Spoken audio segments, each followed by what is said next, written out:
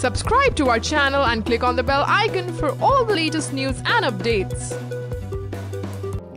Hello, you have logged into One India News YouTube channel and this is Mariam.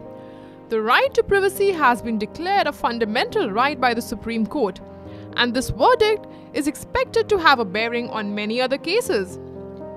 It would not just have a bearing on Aadhaar, but also on beef ban.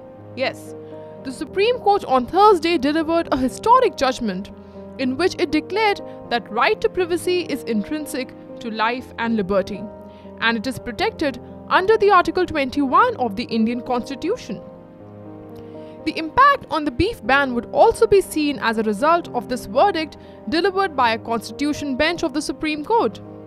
While beef ban is imposed under the existing laws, a person could still approach court complaining that the ban violates his right to privacy and choice of food. As a result of this verdict, the decision to impose a beef ban in states will also come up for review. Justice J. Chelameswar, in his personal conclusion, had said, I do not think that anybody would like to be told by the state as to what they should eat or how they should dress up or whom they should be associated with either in their personal, social, or political life. Thus, there is a possibility that beef ban in many states might have to be reviewed.